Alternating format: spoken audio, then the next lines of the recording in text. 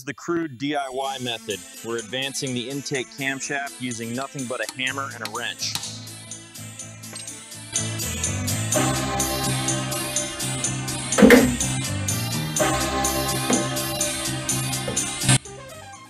Okay, back here one more time. I swore to myself I wouldn't touch this engine setup again, but yeah, I changed my mind.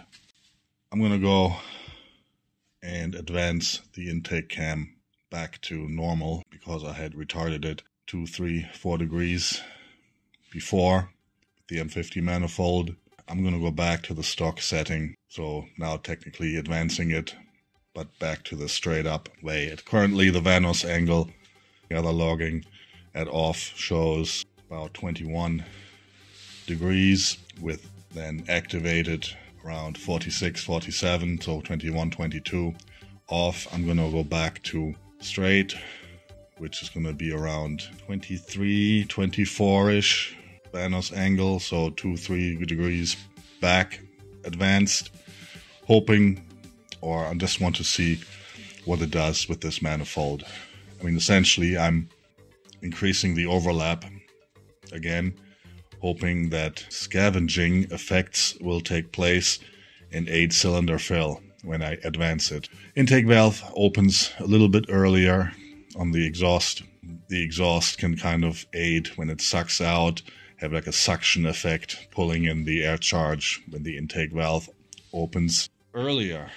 Now, this may seem contradictory because a lot of times people say, or a lot of times, you can read it online, retarding the intake cam will aid in top end, but down below will be worse. Anyway, I want to put it back to stock now, advancing it back and then seeing the logs if that did anything now or how it behaves differently. It's an experiment again. Unfortunately, I have to take the strut brace out again, valve cover, but it's, yeah, mildly annoying job.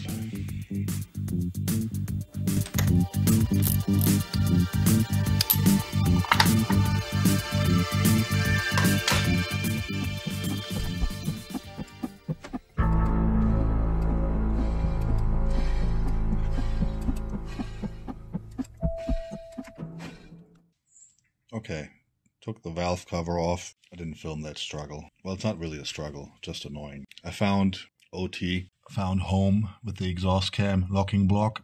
That's straight. Two front cylinder one lobes are facing each other, so this is the correct position to adjust the timing. And you can see here already, you can see the lighting here sucks. My camera sucks. That the intake cam is slightly tilted to the left, which means it's slightly retarded from straight up. Now I'm just gonna loosen the front bolts on the exhaust cam sprocket and then just tap the intake cam back into straight up, which will be like around, I don't know, 24 degrees Vanos angle. That's the plan. You can see there the small gap with the block installed. This would be flush on the block, so I just need to move it back to the right just a scooch. For this procedure, which needs to be very precise, I'm using the trusty old ancient wrench, open end there, and just a hammer.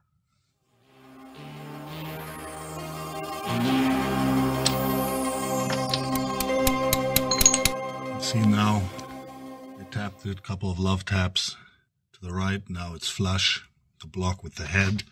This is parallel, those two back cam blocks. So this is back to stock timing. You can see also the lobe now moved a little bit to the right and now they're really facing each other. So this job is done. Just need to tighten this again and bolt everything back up. Okay, everything's back together. Now, once again, moment of truth. Start it up. I mean, what's the worst that's to happen, right? It's to blow up. Testing the intake cam advanced back to stock timing with Vanos angle 24 degrees showed a loss in torque and power in the data logs.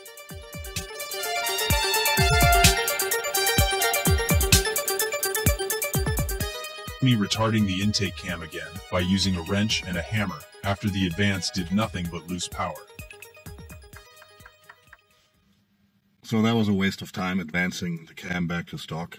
apparently the retardation I had done was already very good because in the logs now with the stock straight setup clearly it's making less power I mean I'm I just went back and tapped it back the other way. I retarded it again. But I, it was clearly shown in the logs.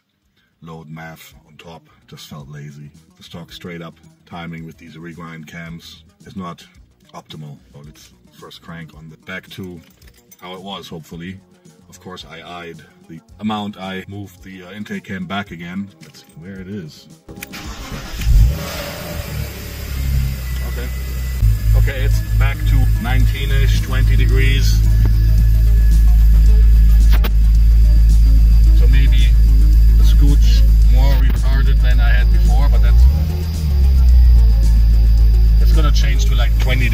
when it warms up.